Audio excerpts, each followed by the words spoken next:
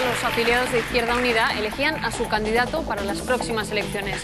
Finalmente Gaspar Llamazares conseguía más del 60% de los votos y se imponía a la otra candidata, Amarga Sanz, apoyada por el Partido Comunista. Gaspar Llamazares nos acompaña esta noche. Muy buenas noches. Buenas noches. Eh, las primarias que se acaban de celebrar en su formación parece dar la sensación desde fuera que están muy pegadas a las elecciones de marzo. ¿Hay alguna explicación?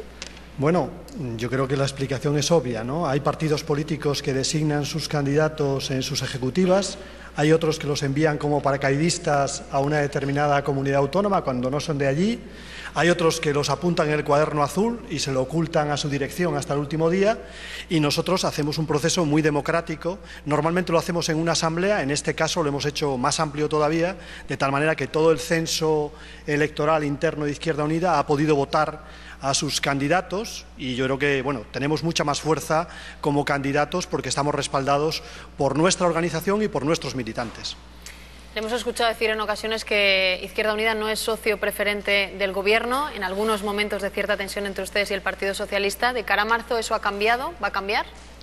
No, no ha cambiado. Inicialmente nosotros votamos la investidura del presidente del Gobierno después de una legislatura muy dura del Partido Popular en mayoría absoluta pero nos hemos ido distanciando a lo largo de la legislatura, de tal manera que somos una oposición podemos denominar constructiva, exigente, en algunos casos también influyente, porque hemos logrado incorporar medidas importantes, sobre todo en materia social, y estamos, en general satisfechos de nuestro papel en esta legislatura. Podemos decir que no habría ley de igualdad, no habría tampoco ley de atención a la dependencia, tal y como está configurada, y tampoco habría ley de memoria histórica si no hubiera sido gracias también al impulso de los sindicatos, de las asociaciones de la memoria, pero también al impulso de Izquierda Unida. Entiendo entonces que no cambia ese apoyo inicial. Si en marzo ganara el Partido Socialista, Izquierda Unida estaría allí. Si en marzo ganase el Partido Socialista, que creo que hay muchas posibilidades, Izquierda Unida intentará ser lo más influyente posible, teniendo el mayor grupo parlamentario posible para que el Gobierno gire hacia la izquierda, porque, por ejemplo, en política económica no ha girado hacia la izquierda y no ha hecho una política más ecologista y pacifista. ¿no? Por lo tanto, nosotros mm, pues, exigiremos al Gobierno que sea más comprometido con la izquierda. Respecto a lo que ocurrió en Santiago de Chile, a la reacción del rey y también del presidente del Gobierno, casi hubo unanimidad entre las formaciones políticas defendiendo la reacción del rey. Sin embargo, le hemos escuchado a usted decir que no les gustó demasiado ¿no? lo que hizo. Bueno, yo creo que en los últimos días están cambiando las cosas. ¿no? Cada vez me dan más la razón a mí y menos la razón a quienes salieron bueno, pues con el incienso inmediatamente de la intervención del monarca. Nosotros tenemos mucho respeto, aunque somos republicanos, a la figura del jefe del Estado, pero se equivocó. Se equivocó interrumpiendo en ese momento abruptamente con ¿por qué no te callas? a un presidente de un país que puede estar acertado o desacertado en su intervención, pero para eso hay un moderador en la cumbre iberoamericana. No es necesario que haga de moderador el jefe del Estado. Creo que se equivocó y no hay más que eso, se equivocó y lo que hay que hacer es reconducir la situación, que es una situación en estos momentos puntual, porque en general yo creo que tenemos una relación fraternal con América Latina. Hay quienes piensan, sobre todo desde la derecha, que este desplante y este desacuerdo puntual se debe convertir en una cima, se debe convertir en un divorcio. Nosotros no estamos de acuerdo en el divorcio, en este caso, entre los países latinoamericanos. Bueno, si le parece, escuchamos las preguntas por aquí, Antonio Casado, de los periodistas. Sí, eh, vamos a ver, Izquierda Unida es en estos momentos la tercera fuerza política a escala nacional en votos, pero no en escaños. Eh, esto, a mi juicio, se traduce en una cierta invisibilidad, sobre todo mediática, de Izquierda Unida, también política, porque ahora pues, nos acaba de decir efectivamente la influencia que ha tenido Izquierda Unida en algunas leyes. Sin embargo, esto no acaba de trascender. ¿Qué se le ocurre a usted o qué se les ocurre en Izquierda Unida para cambiar esta situación de bipartidismo cansino permanente y que se haga más visible, que se vea más lo que hace Izquierda Unida? Bueno, en primer lugar es un escándalo democrático que la tercera fuerza política del país, a la cual le corresponderían por un sistema mínimamente proporcional 15 escaños, pues tenga, junto con Iniciativa per Cataluña, cinco escaños.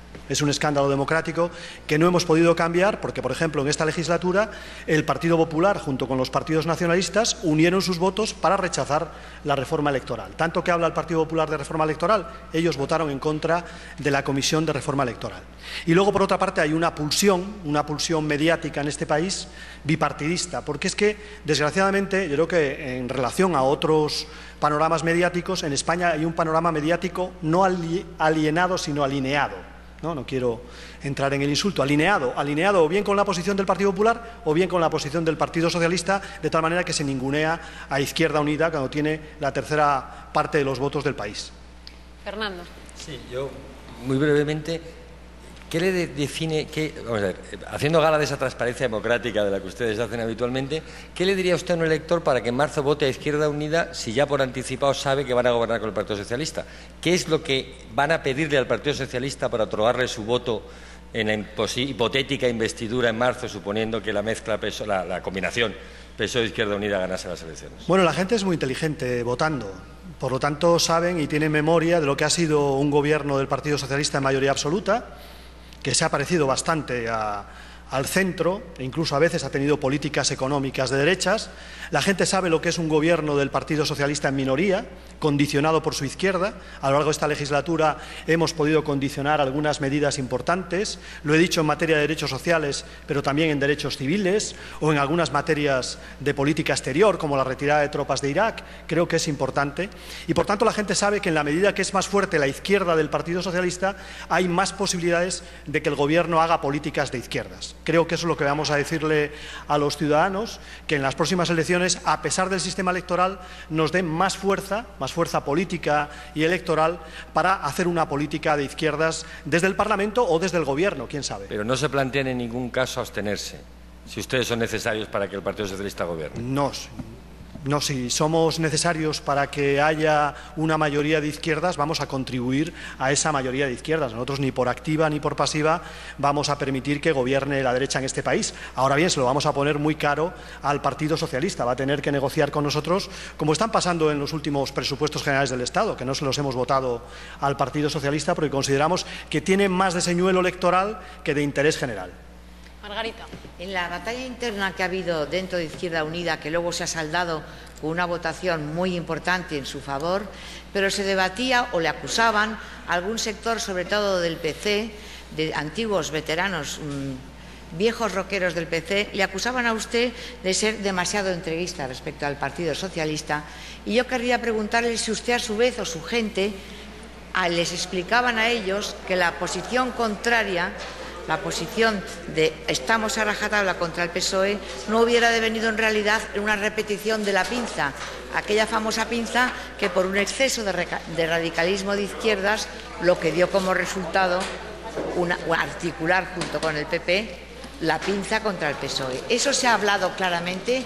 ¿Ha sido así como se ha planteado el tema o no con tanta crudeza? Yo, en primer lugar, tengo mucho respeto a los viejos roqueros del PC y, por ejemplo, quiero recordar a Gregorio López Raimundo, que ha muerto recientemente, que es un viejo roquero que está en la esencia del cambio en Cataluña, de la recuperación de la democracia. No, no, he entendido perfectamente, he entendido perfectamente la pregunta. No me refiero, no me puedo referir jamás a López Raimundo, ¿eh? Ya, ya, ya, por eso, pero quiero ponerlo de mi lado porque yo me identifico con, con su ejecutoria, ¿no? Lo que se ha producido es que un sector del PC, que es un sector al cual le sobra Izquierda Unida, pues se ha enfrentado a la mayoría, pero la mayoría del PC ha ganado estas primarias porque la mayoría del PC es de Izquierda Unida ya, irreversiblemente de Izquierda Unida.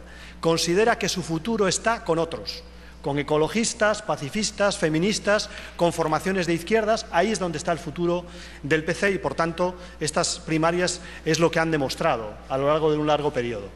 Pero en este debate que hemos tenido en las primarias, yo creo que ha habido dos cosas importantes. Aquellos como le ha cortado a Margarita, enseguida le voy a robar a ella algún segundo para que pueda terminar su intervención. De acuerdo, Germán. De acuerdo. Don Gaspar, eh, usted me hizo notar en una ocasión que había más cosas en las que estábamos de acuerdo de las que yo pensaba. También hay muchas en las que yo le escucho y no estoy de acuerdo, pero las entiendo. Pero reconozco que hay algunas que me cuesta entender. Y me cuesta entender, sinceramente, la posición de su organización, en la versión vasca de Esquerbatúa, en el País Vasco. Dice, no, no ayudaremos a un gobierno de derechas. En el País Vasco están ayudando a un gobierno de derechas más etnicista que cualquier otro gobierno de derechas, con un plan como el del Plan Ibarreche. Yo me pregunto, ¿qué es lo que ocurre? Que en ese proceso interno usted necesita los votos de Esquerbatúa y por lo tanto mantiene esa posición, o que usted está convencido de que hay que llevar a cabo iniciativas como la del Plan Ibarreche y por lo tanto recibe los votos de Esquerbatúa. Yo estoy convencido de lo que hacen mis compañeros en el País Vasco. De hecho, eh, yo he recibido en el momento de la decisión una llamada de los compañeros del País Vasco para saber mi opinión y les he animado a formar parte del Gobierno. Si no existiera Esquerbatúa, habría que inventarla porque estoy convencido que en el País Vasco lo que faltan son puentes, puentes entre nacionalistas y no nacionalistas.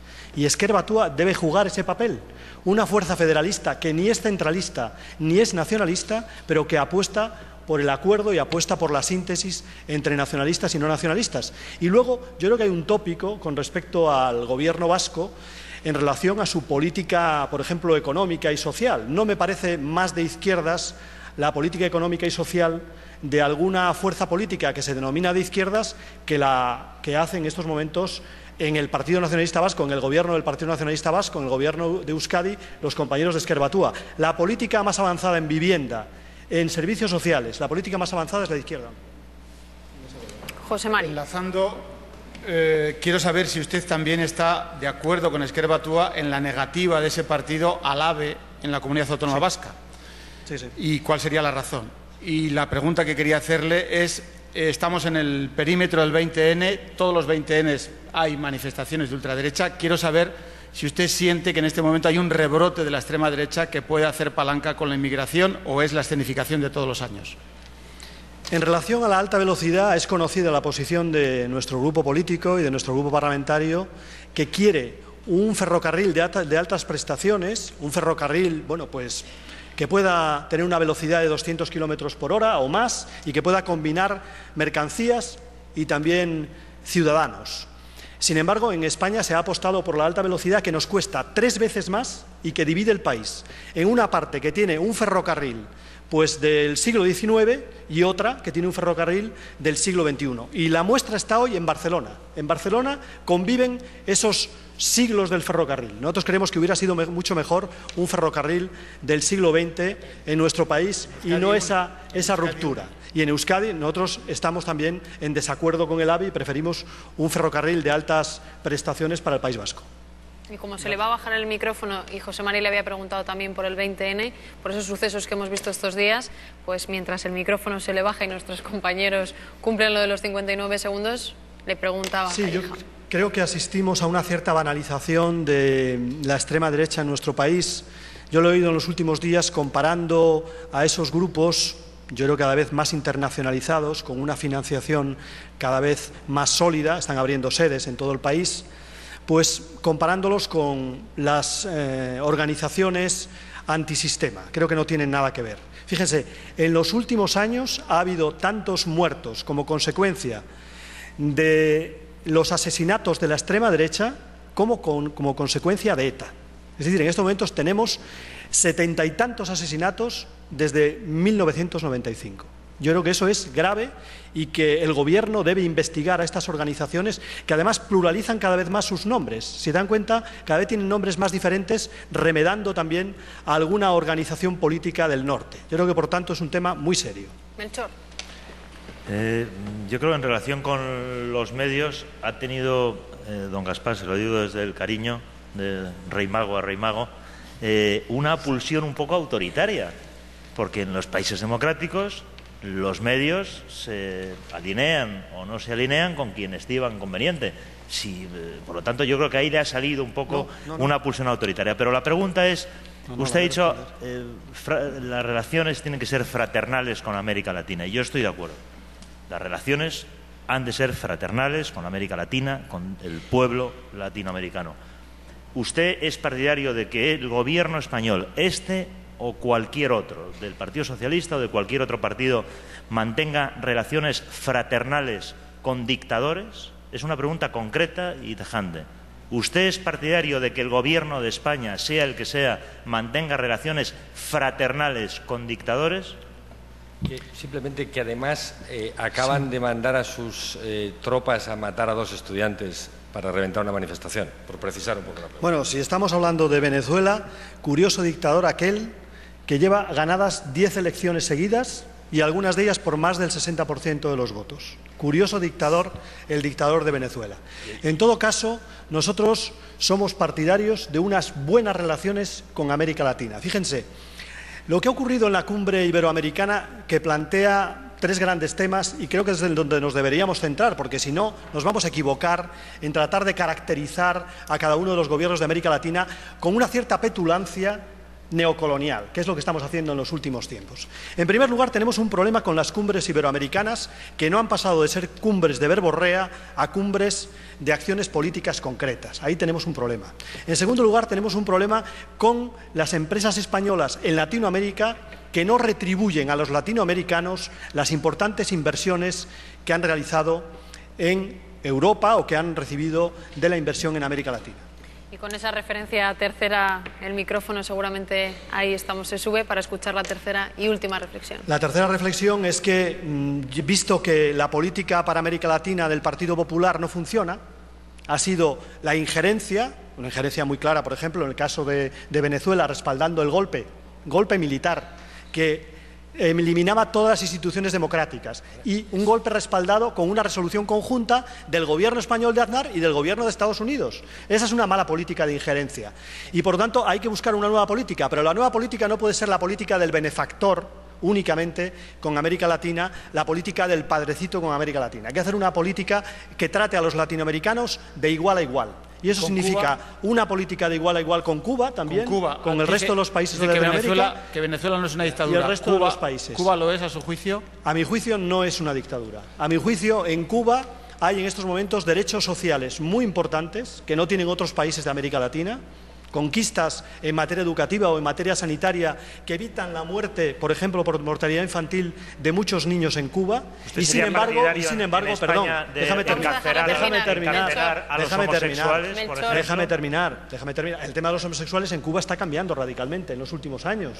¿eh? Y para ello, bueno, pues la hija de Raúl en está encabezando, encabezando claro, esa menos, posición no con a respecto a todos, los homosexuales. Pero digo otra cosa más, Cuba necesita reformas. Necesita reformas, pero no se producirán las reformas con bloqueos, ni se producirán las reformas tampoco con petulancia y con soberbia por parte de España en las relaciones con Cuba. Porque el gobierno del Partido Pinochet. Popular no consiguió ninguna reforma con esa actitud petulante. Si se tiene una actitud de igual a igual, seguramente se producirán también reformas.